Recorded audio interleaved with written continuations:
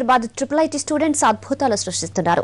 రీసెంట్గా నిరంజన్ అరుదైన స్నేక్ రోబోను సృష్టించాడు. ఈ స్నేక్ రోబో సెర్చ్ రెస్క్యూ ఆపరేషన్స్లో ఉపయోగపడుతుందని యంగ్ సైంటిస్ట్ చెబుతున్నాడు. ఇంతకీ అది ఎలా పనిచేస్తుందో తెలుసుకోవాలనుందా?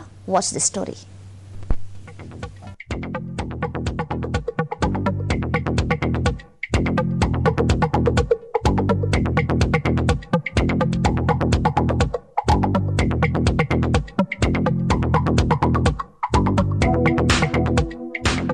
Hyderabad triple IT student N Niranjan సరికొత్త రోబో రూపొందించాడు. స్నేక్లా పనిచేసే ఈ రోబోకు స్నేక్ రోబో అని పేరు పెట్టాడు.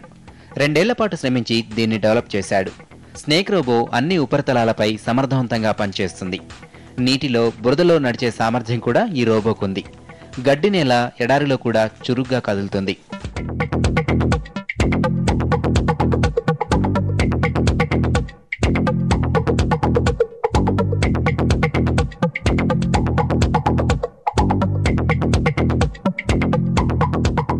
స్నేక్ రోబో బొంత పురుగులాగా కదులుతుంది.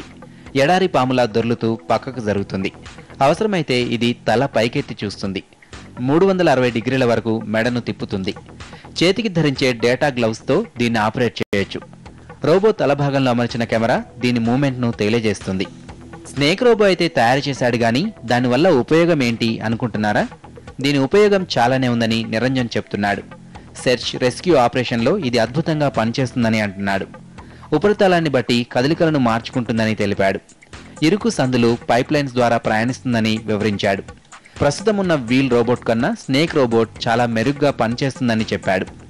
నిరంజన్ గోడపై పాకే రోబోను కూడా తయారు చేస్తున్నాడు. బల్లిని ఇన్స్పిరేషన్గా తీసుకొని దీన్ని రూపొందిస్తున్నాడు. ప్రస్తుతం ఇది గోడకు అత్తుకొని కొద్దిసేపు ఉండగలదని తెలిపాడు. వాల్ క్లైంబింగ్ రోబోకు మూమెంట్ ఇచ్చేందుకు ప్రయత్నిస్తున్నానని చెప్పాడు. నిరంజన్ ఇలాగే మరిన్ని రోబోలు సృష్టించి ఎన్నో సక్సెస్లు సాధించాలని విష్ చేద్దాం.